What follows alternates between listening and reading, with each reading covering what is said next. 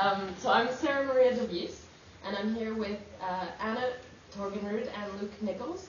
We're three of seven directors of Bike Regina, uh, bicycle advocacy, education, and community building in Regina. Thank you for the opportunity to speak this evening. Uh, the City of Regina recently approved an official community plan and is developing the Transportation Master Plan, as you know. As a Design Regina stakeholder, Bike Regina is pleased that the administration and council have recognized the value in providing transportation alternatives that enable year-round, integrated, sustainable, and affordable choices to Regina residents.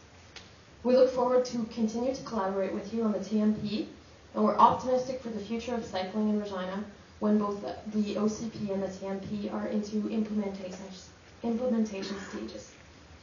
Uh, however, prior to implementation, Council can optimize current infrastructure plans by taking small but significant steps towards a, a citywide multimodal transportation network. Upon review of the 2014 budget, we were concerned that no funds have been specifically allocated for development of new on-street or pathway cycling infrastructure. Uh, this same issue was raised previously in 2013, 2013 to our, with our budget review uh, response. Uh, we would like to invite Council to be progressive stewards by giving priority to improving the cycling environment in 2014. In advance of the OCP and the TMP, Council can show their commitment to the tone and the intent of these plans by directing administration to allocate capital or operational funds for the following items. First uh, would be documented consideration of cycling or cycling infrastructure on planned road improvement projects uh, for 2014, especially roads where um, the OCP has already plans for uh, cycling infrastructure to be developed. Secondly, uh, documented consideration of spot improvements uh, that were proposed and submitted by Bike Regina to uh, administration in 2013 during OCP meetings. Uh, third, the consideration of uh, human and financial resources to be allocated to ensure annual planning and promotion of Commuter Challenge Week, which this year is June 1st to 7th. Um, then uh, consideration of road diets or uh, cycling infrastructure as co- traffic calming measures within the budgeted 221,000 uh, for traffic safety infrastructure. And finally, that no further funds be allocated to signage that discourage cycling, uh, specifically when not supported by traffic bylaw 9900 or by other municipal bylaws.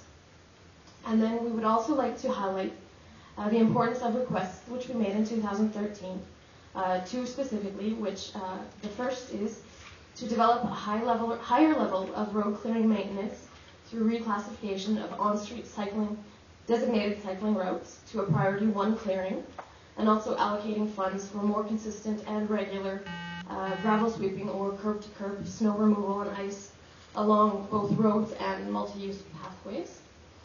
And uh, to, secondly, to establish a line of communication between relevant business units, uh, including parks, Wascana Center, and roads, to ensure that on-street and off-street cycling facility design, construction, and maintenance uh, is effectively and holistically managed. Um, in closing, we are encouraged by future plans, such as the 2015 Sustainable Infrastructure Pilot Projects, and we would like to thank you uh, for involving Bike Regina in the OCP and TMP process, uh, for some of you for, for participating in our community events, and also for uh, responding to individual Bike Regina member uh, maintenance requests.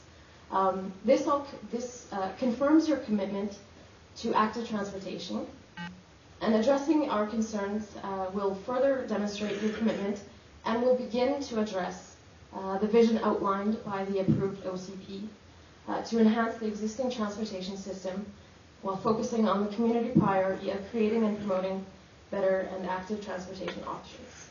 And we welcome any questions that you would have. Thank you very much for your presentation. Are there questions of delegation? Councilor Bryce. Thank you. I'm just wondering what your group would, uh, what they're thinking about the, um, on the front of the bus, the bike racks. How has that been working out, and um, is it something that your group utilizes often? a number of mem- members have anecdotally said that they, they do use it. Um, some people are afraid to uh, because they're not sure how it works, but I know on the transit website uh, it, there's a video that explains, and uh, people have had positive um, experiences with bus drivers, even getting out of the bus to help someone put their bike on it. So those are very positive. Yeah, it's um, it helps uh, earl uh, beginner cyclists that maybe wouldn't want to cycle across the entire city. Uh, they can do a portion of their ride uh, with the bus. Thank you, Councillor Bryce. Any questions? Councillor Fraser. There we go. Thank you, Mr. Mayor. Uh, thank you so much for your presentation. It's very encouraging to see the good work you folks have done. Um, can you just explain how you tie into the transportation master plan exactly? Like, you've been consulted already, you're part of the process. Mr. Dees? Yeah, we have been a, a stakeholder that uh, we've been involved in the consultation process. Yeah. Okay, and you feel it's been at an appropriate level? level? I was going to say, one other thing I appreciate is a lot of your recommendations aren't uh, budget heavy. You know, they're, they're tweaks. There's a lot, seems to be a lot of low-lying fruit when it comes to improving the cycling experience here. So, um, do you think you're plugged in enough? Mr. Uh, so long as we continue being plugged into the same level. Uh, uh, we've we've been very uh, pleased with having been invited uh, by council and then by executive um, advisories uh, groups to continue uh, presenting or giving our opinion. So if that continues, we'll, we'll continue to be pleased. Great, thanks. Councillor Gall? Uh, Thanks. Um, Comment you made about signage that discourages biking. Would you inform me, please?